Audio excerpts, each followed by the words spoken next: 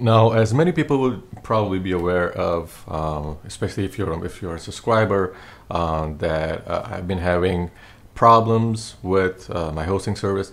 Now, I, I, need to mention here that I've been with Hostinger for now close to two years, um, and I never never really had a problem. And the reason was because nothing really went wrong.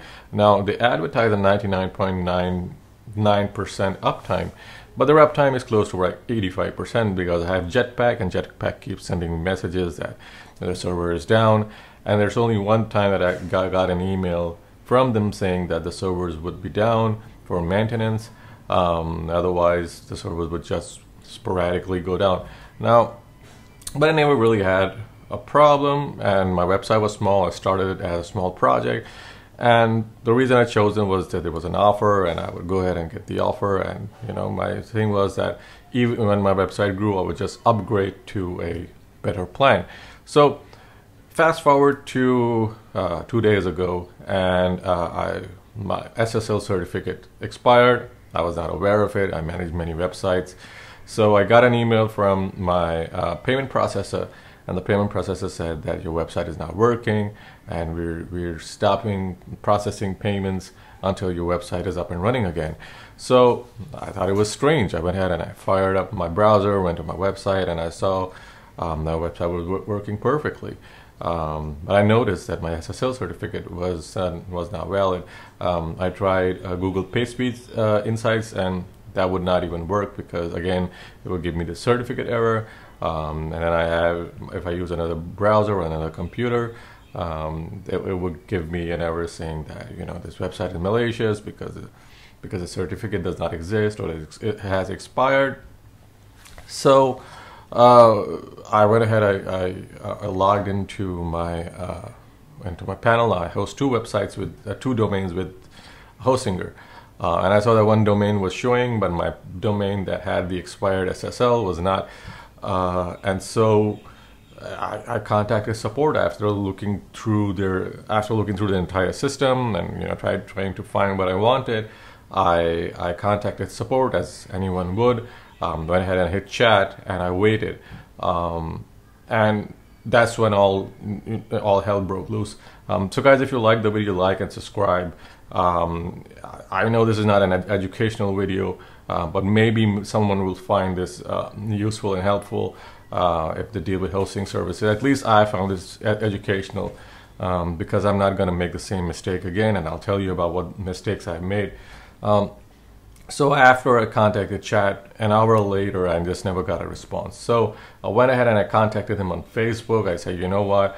Why are you guys not responding? Initially, there was a there was a bot that responded and then there was a real person that said i'm sorry and you know our services are uh, busy. Um, how can i help you? And then from there they asked me to uh, email them the problem. I emailed them i told them uh, what happened has been that uh, my domain has disappeared from my h uh, panel.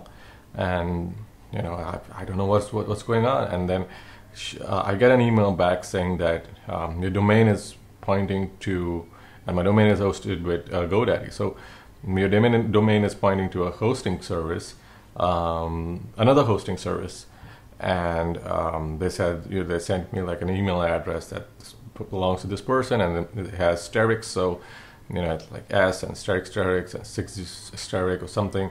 And I said I don't have an email address that looks like that. So they went ahead and said, all right, so we'll go ahead and if you prove that you're the owner of the domain, we'll go ahead and transfer it over to um, your current hosting service. So we need an invoice and you last paid for the domain, and we would also like um, that you'd send us like a DNS zone kind of screenshot. Um, so I said, okay, fine. So I went ahead and you know took the screenshots and sent it over um, to them, and I said, you know, here's it. And I asked them, you know, if you transfer the do- if you're transferring um, the domain, uh, will will the um, website transfer as well? And she said, no, it's just not going to happen. And I said, can you do it? And we are communicating on email. I said, you know, it's very important that my WordPress website um, gets transferred um, too, because I mean, it's it's it's a two-year-old website, and it's making me it's making me a lot of money. So she said, no, it's it's uh, it's not possible. You can back up your WordPress uh, from where you are, and then you can try to restore it. Uh, I think it was something to that effect.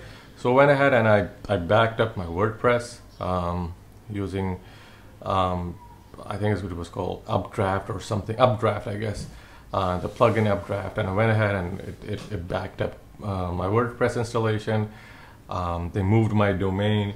And then when I tried to restore from Updraft, um, it said it you know the the backup installation was not uh, the backup files were not valid, um, even though I had done it directly from Updraft, and it was just an hour or two hours later. Um, I then contacted support and I said, you know, uh, you guys have moved my domain, but you know my, my WordPress is not working and I can't restore it. Uh, and so uh, there was a back there was a big bit of back, back and forth because they couldn't understand what I wanted. Um, and then finally, um, there was a support person who then sent me um, the backup files for my installation, and there were quite a few files, um, and there were instructions on how I could restore. But the problem with those instructions is that if you use, um, for instance, there as a, and I got a screenshot here.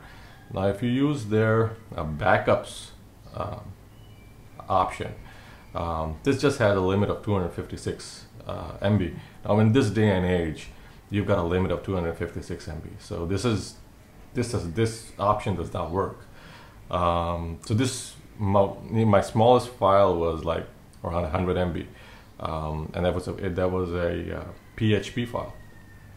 But my website was like close to uh, 800 MB, so it would not work over here. Um, so then I contacted support and they asked me to use the, there was another option in beta version and they said to use that. I went ahead and I used the, tried using the one, the beta version. I uploaded, as they recommended, I uploaded the file um, and I extracted it as exactly as they asked me to. And it did not work. And um, it was now, I was now 14, 15 hours into this um, because they take forever to respond um, and chat does not work. So at that point, I'm like, okay, so what do I do now? So I contact support, and now there's this new guy. This is the third new guy, by the way, and he's just sending me canned messages. I asked him, you know, I'm having a problem. He'd send me a canned message. I said, I've kind of, I have uploaded my file, extracted it. He'd send me another canned message, but the same thing over and over again, quite literally, um, the same instructions, and it just it was it just came to the point where, where it had, had become extremely frustrating. Um, and then after I was frustrated with that guy, then there was another lady that came on, um, and she wouldn't. She started communicating communicating with me via email, and then after quite a bit of back and forth, um, she was like, "All right, so why don't you just you know submit your files, um, and we, um, we we will do it for you. It will take 48 hours." Um, and in between, I mean, now this is what was started at like seven in the evening, my time. It was now uh, eight in the morning, um, nine in the morning, as a matter of fact. So I had, I had been up all night um, trying to fix this. And so finally, um, you know, she said just go ahead and follow the instructions as always and upload uh, and put in a request. And when I put in a request, I get an error. I put in a request again, I get an error message. So as it turns out, um, you know, I can, I'm only limited to one database. I can have unlimited websites on my host, but uh, I'm limited to one database, and I'll get back to that soon. So I asked her, what the hell do I do now? And she says, oh, yeah, actually you've only allowed one database. I'm not sure how the database is connected to putting in a request or a ticket to, you know, just, you know, just restore my website from, from a backup. So I went ahead and you know, she went ahead and deleted my database or something. Well, I did it myself. I don't remember. Um, and then I went ahead and put in a request, and now it's 48 hours, and it's not 48 hours. It's like 24 hours since I put in the request, and there's no response yet. So in the meantime, I went ahead and I got a hold of another hosting service, and the hosting service said that we, we can do it for you, and we can do it for you in a couple of hours if you sign up for a hosting service. It was one of the services that was recommended in the comment section. Then I posted a screenshot, and um, they were able to recover my website um, within a few hours. And I had my I pointed my domain to the new uh, host, and and that's that was propagated. Uh, you know, just this morning I checked and my website was up. So the two three lessons here for us um, as people who, who who run websites, who run blogs, is a I mean never go for a cheap hosting service. Now, not only is the hosting service cheap, but the customer service is cheap. So they have people, but they're probably overburdened and they're not well trained. They're not even they're not even aware of their own system, and that's the first problem. So the customer service may work, but it's not it's not as good as it should be. They've got more customers than they can handle, and that's bad news. Um, the second problem is that um, the their system does not work. So the H panel is is highly limiting. Um, you can't restore from backup. You can't have a website transfer. There are limitations on the number of, you know, on file size. There are limitations on the type of website. There, there are all kinds of limitations, and those limitations just, I mean, they're just ridiculous because every second person has a WordPress website. Every second person has graphics on their website. Every, then the, the average backup is not going to be uh, 2 MB or 3 MB or even 256 MB. It's not it's not going to be that way. So it's it's just pointless. It's just features on a feature list to attract new people, um, to which does not work. So the uh, the third problem is, and this is something I should have been aware of, is that all of these hosting services would say advertise you can you buy this, uh, let's say it's uh, ten dollars a month and you get to host unlimited websites. Yeah, sure, you can host unlimited websites, but the domain, but the hosting, uh, a host can only host two databases, which means you, if you're running WordPress, you can run more than two WordPress installations, and that's it. So the unlimited is just a slick marketing tactic.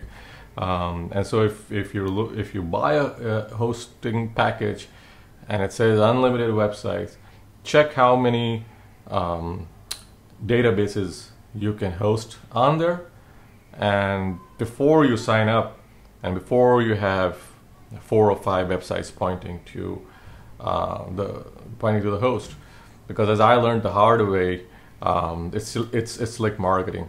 Um, so, guys, um, just be aware before you you know sign up for any host. Is you know if you you know, try to do your research and don't search online because a lot of these hosting services, even Hostinger has great reviews online, which I suspect now is are fake reviews or reviews by people who have not really used the service much, but they somehow had a good they had a good relationship with someone at the company.